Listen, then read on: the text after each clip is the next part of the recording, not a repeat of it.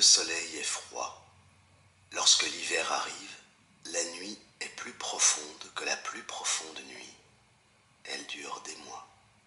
Pas au bord de l'océan gelé, l'ours passe, tête basse, pattes lourdes sur la glace. Il s'ennuie dans la longue, si longue nuit.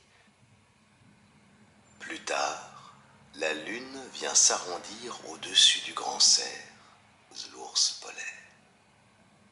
Quand le bateau lune s'approche des glaces, l'ours blanc retrouve sa place au bord de l'océan gelé. Et la lune, comme une image, s'en retourne briller.